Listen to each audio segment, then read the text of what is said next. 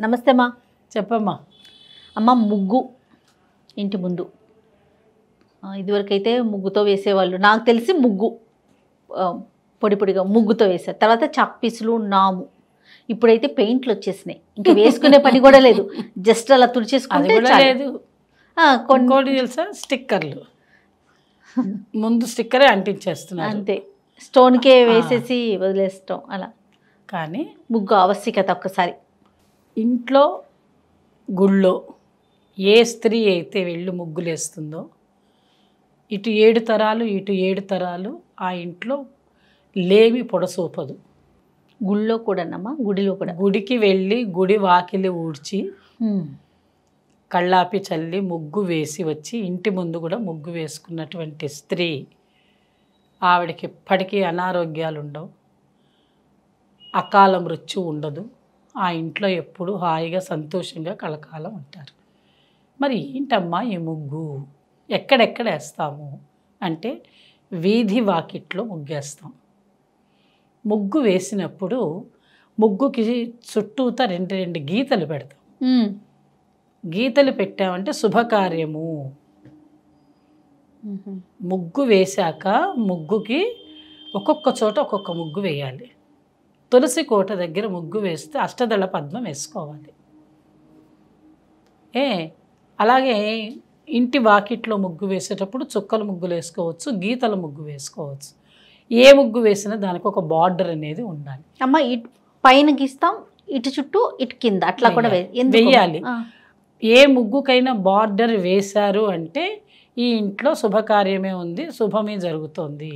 అంటే ఈ ఇంట్లో అన్నీ మంచిగానే ఉన్నాయి ఎవరు అనుకుంటారు అంటే పూర్వకాలం రోజుల్లో ఇంటికి సన్యాసులు యతులు భిక్షాటనకు వచ్చేవాళ్ళు. అవునవును. హరిదాసులు వచ్చేవాళ్ళు. ఇంకా మామూలుగా అన్నం అడుక్కునేవాడు వచ్చినా కూడా వాడి ఇంటి ముందు ముగ్గు ఉందా లేదా అని చూస్తారు. ముగ్గు ఉన్నది అంటేనే ఆ ఇంటి నుంచి భిక్ష తీసుకెళ్తారు. అంటే పర్వాలేదు ఈ ఇంట్లో ఏ అశుభం లేదు. అమ్మా. అంటే ఇంటి ముందు ముగ్గు వే ఎప్పుడు వేయకుండా ఉంటారు అంటే ఆ ఇంటి వాళ్ళు ఎవరైనా కాలం చేసినా ఆ ఇంట్లో అశౌచాలు ఏదైనా ఉన్నా ఆ ఇంట్లో జరగకూడని వ్యవహారాలు ఏదైనా జరిగి ఉన్నా ఆ ఇంటి ముందు ముగ్గు లేదు కాబట్టి మనం అడగకూడదు ఈ ఇంట్లో. వాళ్ళే కష్టంలో ఉన్నప్పుడు మనం ఇంటికి. వెళ్ళి తెచ్చుకోకూడదు అని ఎవరు భిక్షకి రారు. ఓకే. ఇది పూర్వకాలం నుంచి వస్తున్నటువంటి విధానం. అంటే ఆ కాలంలో ఇళ్ళు వాకిళ్ళు ముగ్గులు ఇవన్నీ ఉండేవి. సరే ఇప్పుడు నేను ఇవన్నీ చెప్పాను అనుకో అపార్ట్మెంట్ల ఇళ్ళ ముందు ఏం మా ముగ్గులు అంటున్నావు నువ్వు అనొచ్చు. అపార్ట్మెంట్ ఇళ్ళల్లో అయినప్పటికీ కూడా నీకంటూ నీకు ఒక గుమ్మం ఉంటుంది కాబట్టి ప్రతి ఇంటికి గుమ్మం అయితే ఉంటుంది కదా? మన ఎంట్రన్స్ ఎంట్రన్స్ ఉంటుంది కాబట్టి ఇంటి ముందు ముగ్గు వేసేటప్పుడు అసలు నిజం చెప్పాలంటే బియ్య పిండితోటే వేయాలి. ఎందుకని బియ్య పిండితో వేయాలి అంటే నువ్వు ఇంత పిండి. వేయొద్దు. కొంచెం పిండి తీసుకొని అయినా సరే రెండు గీతలు గీసి మధ్యలో ముగ్గు వేస్తే ఆ బియ్య పిండిని ఆ నల్ల చీమలు వచ్చి తినేసి వెళ్ళిపోతాయి వాటికి నువ్వు ఆహారం పెట్టిన దాని అవుతావు అంటే దానం ధర్మం చేసేటువంటి విధానం పొద్దున్నే నువ్వు నీకు నువ్వు అలవరుచుకుంటావు ఇది దాని తర్వాత దేవుడు దగ్గర నువ్వు ఏదైతే తులసి కోట. చేసుకుంటావో. తులసి కోట దగ్గర అష్టదళ పద్మం వేసి ఓ దీపారాధన కుంది పెట్టి దీపం పెట్టుకుని అక్కడ కూడా చక్కెర నైవేద్యం పెడతాం. పెట్టి మన ఇంట్లోకి తీసుకెళ్ళి చక్కెర కాఫీలో వేసుకోవడం కాదు చెయ్య ఈ చక్కెరని చీమలకి వెయ్యాలి ఆహారంగా. ఎందుకని? వాటి అవి కూడా మీతో పాటు బతకాలని. అందుకని మట్టి దగ్గర ఉన్నప్పుడు అట్లా విసిరేస్తారు. అవి తినేస్తాయి అని. ఇంకా ఇంట్లోకి వచ్చిన తర్వాత దేవుడి దగ్గర కూడా ముగ్గు వేసుకోవాలి. ప్రతిరోజు శుభ్రం చేసుకుని దేవుడు గుమ్మం ముందు అలాగే దేవుడిని ఎక్కడైతే పీఠం పెడతారో ఆ పీఠం దగ్గర కూడా తుడుచుకుని అక్కడ పద్మం ముగ్గు వేసుకోవాలి. ముగ్గులు వేసే విధానంలో స్టార్లు అలాంటి ముగ్గులు వేయకూడదు. అవన్నీ కూడా తాంత్రికులు చేసేటువంటి వాళ్ళు వేసుకుంటారు. ప్రతి ముగ్గులో కూడా ఒక అంతరార్థం ఉంటుంది. అమ్మవారి యొక్క త్రికోణ బిందువులన్నీ దానిలో ఉంటాయి. కోణాలు వస్తాయి బిందువులు. అవన్నీ కూడా శ్రీచక్రంలో నుంచి కోణాలు. అందుకని ఇక చూడండి ఆ ముగ్గులు వేసి తొక్కకూడదు. ఓ అలాంటి అవకాశం ఉంటేనే వేసుకోవాలి. వేసుకోవాలి. ఓహో. ముగ్గు తొక్కకూడదు. అందుకని చిన్నప్పుడు ఏమనేవాళ్ళు తెలుసా తల్లి? నువ్వు ముగ్గు తొక్కితే నీకు మూగ పిల్లలు పుడతారు అనేవాళ్ళు. విన్నాను. తర్వాత ముగ్గుని కాలుతో తుడపొద్దు అనేవాళ్ళు. అంటే పెద్దవాళ్ళు అలాంటివి ఎందుకు చెప్పేవాళ్ళు అంటే ఎక్కువ ఇంక మిమ్మల్ని ఆలోచించే చేయించేవాళ్ళు కాదు. చేయకూడదేమో. చేస్తే ఇది అవుతుందంటే జరిగిపోతారు. ప్రశ్నలు లేవు అక్కడ. ప్రశ్న లేదు. మా ఎందుకంటే ముగ్గుని ఎవరు తొడ తొక్కకూడదు. ముగ్గు ఉంటే పక్క నుంచి పోతారు జయ. మీరు గమనించారో. లేదు. ఎవరైనా ముగ్గున్న గడప తొక్కనియ్యరు. ఎందుకని? శుభ్రత. అవును. సైంటిఫిక్ రీజన్స్ ఏంటంటే ముగ్గు వేశారు ఇంట్లో అంటే ఆ ముగ్గు నీట్గా ఉండాలి. ఇట్లా షాబీగా చేస్తే నీకు నచ్చుతుందా? అస్సలు నచ్చదమ్మా ఆ ఇల్లు అంతా అవుతుంది కదా. అలా కాకుండా ఎంతవరకు వేయాలో అంతవరకే వేస్తారు. గడపలు కూడా శుభ్రంగా ఉంచుకో గడప మీద కూడా ముగ్గు వేస్తారు.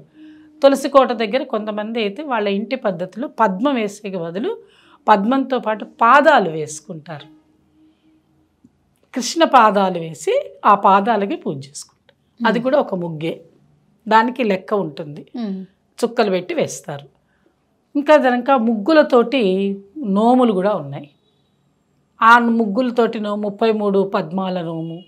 ప్రతిరోజు ముప్పై మూడు పద్మాలు వేసుకుంటారు. వేసి దానికి ముప్పై మూడు ఒత్తులు వెలిగించుకుంటారు.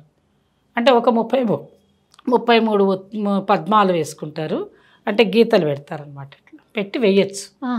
వేసేసిన తర్వాత ముప్పై మూడు ఒత్తులు ముందే తయారు చేసి పెట్టుకొని ఓ చిన్న ప్రమిద పెట్టి దానిలో వెలిగించుకొని దానికి ఒక చిన్న అమ్మవారి స్తోత్రం చదువుకుంటారు. అట్లా నాలుగు చాతుర్మాసంలో చేసుకుంటారు. నాలుగు నెలలు చేసుకుంటారు. అంటే ఇవన్నీ దేనికోసం? ఒక క్రమ పద్ధతి. ఒక క్రమ పద్ధతిగా ఉండే జీవనం కోసం. అంటే నువ్వు పొద్దున్నే నిద్ర లేవాలి అని. అప్పుడు నీకు అలవాటు అయిపోతుంది అంతే. సూర్యోదయానికంటే ముందు నిద్రలేస్తే ఏమవుతుంది? నీ శరీర ఆరోగ్యం బాగుంటుంది. ఎప్పుడైతే నీకు శరీర ఆరోగ్యం బాగుంటుందో నీ మానసిక ఆరోగ్యం బాగుంటుంది. ఆ రోజంతా హాయిగా ఉంటుందిగా. నువ్వు చేసే పని అంతా బాగుంటుంది. అవునమ్మా. దానికోసమని ఇంటి ముందు ముగ్గు ప్రశాంతమైనటువంటి వాతావరణం కల్పిస్తుంది. నిద్ర లేవంగానే పూర్వకాలం ఏం చేసేవాళ్ళు? వాకిలు ఉడిచేవాళ్ళు. అవును. ఎందుకని వాకిలు ఉడిస్తే ఏమవుతుంది? నీకు ఎక్సర్సైజ్. పొద్దున్నే నిద్ర లేవగానే బాడీ స్ట్రెచ్ అవుతుంది. వంగుతావు చీపురు పెట్టి చిమ్ముతావు చేతులకి భుజాలకి ఎక్సర్సైజ్ అవుతుంది. నీళ్ళు చల్లుతావు ఈ వేళ్ళకి ఎక్సర్సైజ్ అవుతుంది. ముగ్గు వేస్తావు వంగుతావు పూర్తిగా. ఇప్పుడు చేసే ఆసనాలన్నీ అవేగా? అవును. చేసుకొని ఇంట్లోకి వెళ్ళావనుకో ప్రశాంతంగా ఉంటుంది ఇల్లు. హాయిగా నీ పని నువ్వు చేసుకుంటావు. ఈ రకంగా ఇంటి ముందు ముగ్గు వేయడానికి ఇన్ని లక్షణాలు ఉన్నాయి అమ్మవారి యొక్క త్రికోణం అంతా ముగ్గులోనే ఉంటుంది కాబట్టి ఇల్లంతా ముగ్గులు వేసేసి తొక్కద్దు తొక్కద్దు అంటే ఏ మనుషులు ఎక్కడ నడుస్తారు? అలా చేయకూడదు. ఎంతవరకు వేయాలో అంతవరకే ముగ్గు వేసుకోవాలి. చక్కగా ఆ ముగ్గులో ఇంకా మనకి సంక్రాంతి పండుగ రోజులు వస్తే ముగ్గుల గురించి. విశేషంగా పోటీలు ఉంటాయి కదా. చెప్పుకుంటాం పోటీలు చెప్పు చేస్తాం. దానిలో పువ్వులు పువ్వులు వేస్తాం అన్నీ వేస్తాం.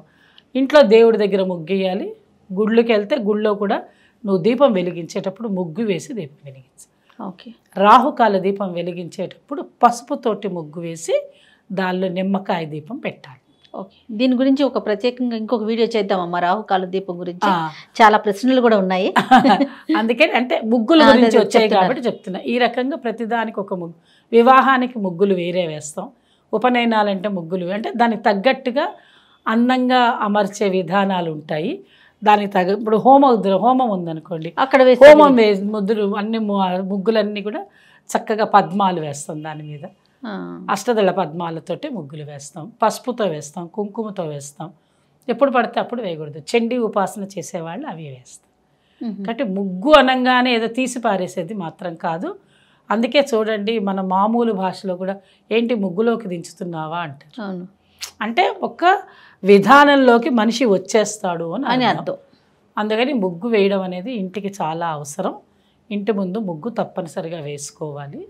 మీకు అనువుగా మీ అపార్ట్మెంట్లో అయినా పర్వాలేదు. మీ గుమ్మం ముందు శుభ్రంగా తుడిచి ప్లాస్టిక్ కాగితాలు అతికిచ్చే ముగ్గులు వద్దు.